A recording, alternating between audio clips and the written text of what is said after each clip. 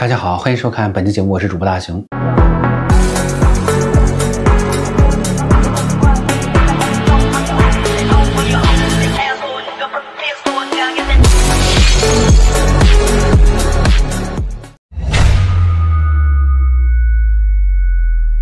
俄乌战争进入第七百四十二天，乌克兰情报局证实，在马古拉威武海上无人机的帮助下，第十三集团的部队摧毁了俄罗斯的谢尔盖科托夫大型巡逻舰，并发布了相关视频。至此，俄罗斯黑海舰队四艘巡逻舰仅余一艘，还算有个囫囵身了啊！马古拉威武海上无人机啊，我们曾经介绍过啊，它可以执行多种任务，如监视、侦察。巡逻、搜救、反水雷、海军保护作战任务等，是全球唯一一款有实战经验和数据的海上无人机。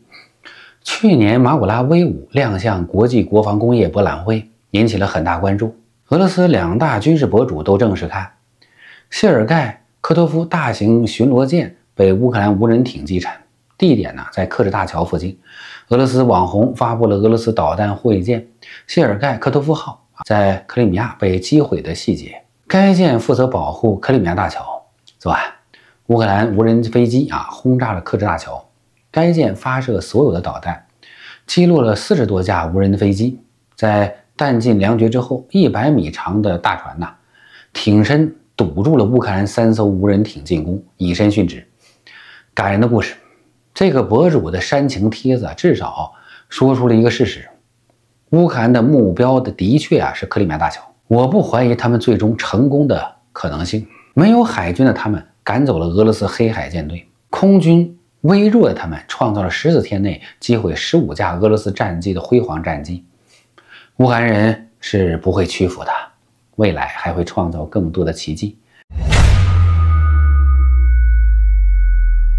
回到战场上来，过去二十四小时，乌军在多个战区发动小规模的。反击塞夫尔斯克巴赫穆特前线，乌军正从铁路线以东的维伊姆卡向南推进。东部前线，乌克兰人在塔巴夫卡发动了攻击，具体情况啊未明。阿夫迪夫卡前线，乌军在市区西面的多个地点展开反击，战斗啊非常激烈。在一小片土地上，俄罗斯士兵的尸体随处可见。根据初步的消息，乌军重新进入了。托嫩克定居点还将俄国人啊推到了更远的位置。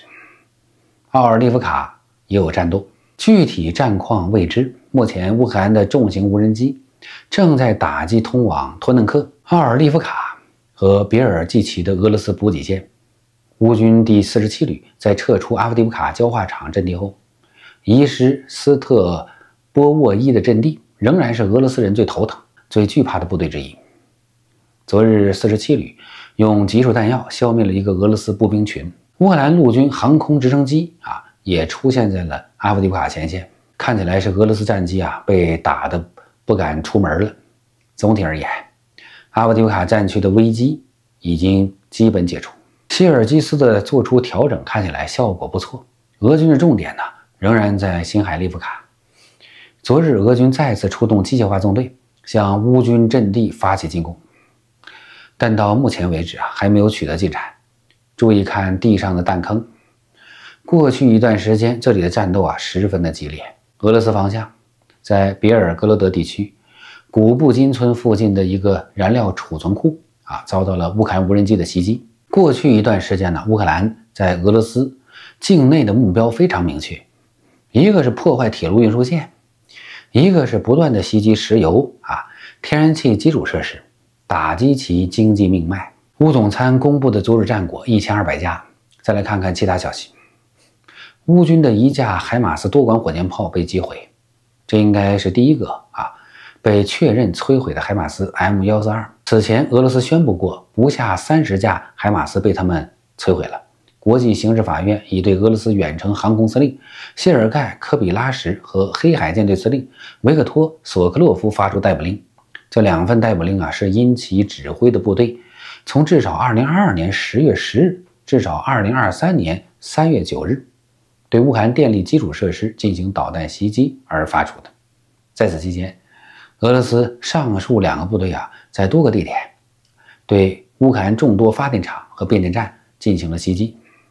国际刑事法院网站在报道中啊，还特别强调了对平民的过度的附带伤害或对民用物体的直接攻击。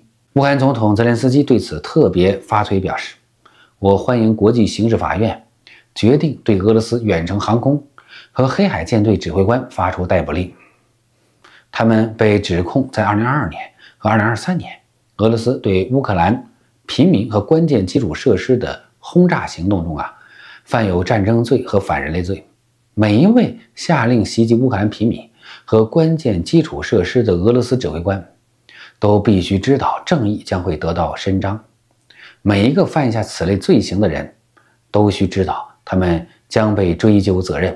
国际正义需要时间，但却是不可避免的。我们将继续尽一切努力啊，确保所有谋杀乌克兰儿童、妇女和男子的俄罗斯野兽啊。都受到惩罚，肩带或柜门上的任何星星都无法阻止他们承担责任。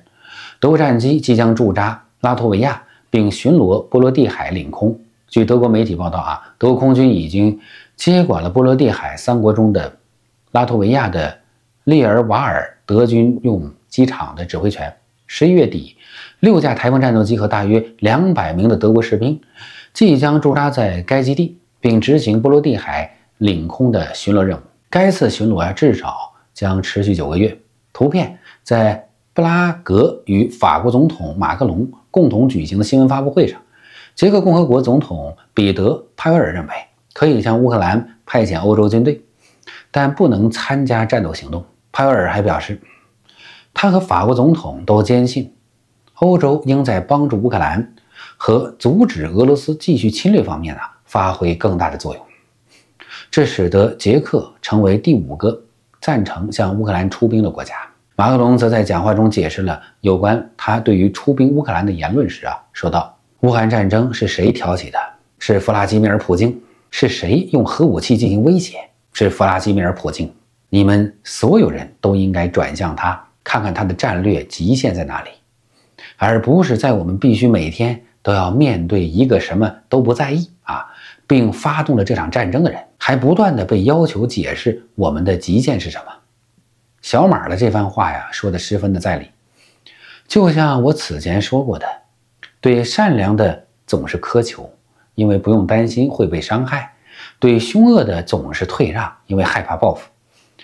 马克龙最后还敦促盟友啊，不要成为懦夫，全力支持乌克兰对抗俄罗斯入侵。我们即将迎来欧洲的时刻。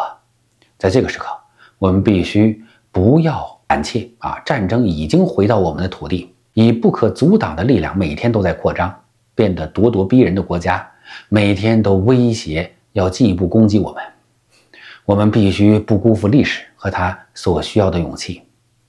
乌克兰总统办公室消息，乌克兰和西班牙之间已经开始就双边安全协议啊展开谈判。据德国媒体报道，德国空军已经接管了。波罗的海三国中的拉脱维亚的列尔瓦尔德军用机场的指挥权，德国战机将会负责波罗的海三国的领空巡逻防御。很明显，北约正在整合成员国的军事力量，为某些事情做准备。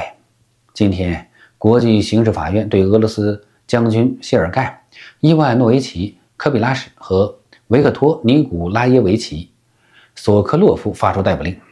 谢尔盖。伊万诺维奇·科比拉什出生于1965年4月1日，俄罗斯武装部队中将。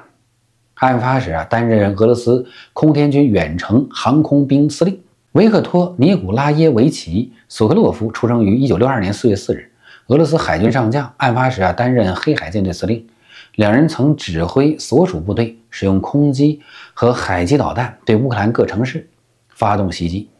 军队。直接攻击民用目标的战争罪负有责任，同时犯有危害人类罪。法庭认为有合理的理由相信，他们对上述罪行负有个人刑事责任。啊，他们共同实施或通过他人实施犯罪，下令实施犯罪或未对所属部队实施犯罪行为进行控制。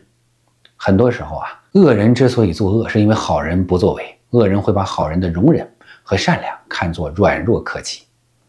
进而变本加厉作恶，但是只要好人团结起来，恶人必将遭遇到本就该属于他的可耻的失败。